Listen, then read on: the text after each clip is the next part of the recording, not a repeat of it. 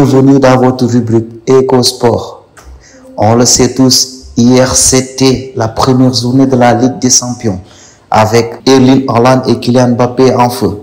La grosse surprise pour les Blues de Chelsea qui démarrent leur campagne européenne par une défaite 1 but à 0 face au Dynamo Zagreb avec le seul buteur, le Croate Mislav Orčić premier buteur de la saison 2022-2023 de la Ligue des Champions. Cela a créé des tensions. En effet, ce matin, Thomas Tuchel, l'entraîneur de Chelsea, a été démis de ses fonctions. En effet, après la défaite des Blues de Chelsea sur la pelouse du Dynamo Zagreb, le nouveau patron Todd Bowling a décidé de se séparer de son entraîneur Thomas Tuchel.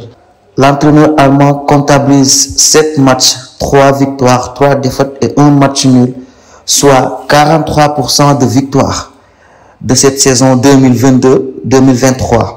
Il a aussi trois titres avec le Chelsea, à savoir la Ligue des Champions, la Super Coupe et la Coupe du Monde des clubs. Pochettino et Zidane évoqués pour lui succéder.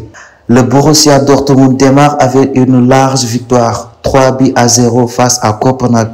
En Autriche, le Milan est tenu en échec par le Salzbourg, un but partout. Raphaël Leao a failli marquer dans les dernières secondes, mais le ballon touche le poteau.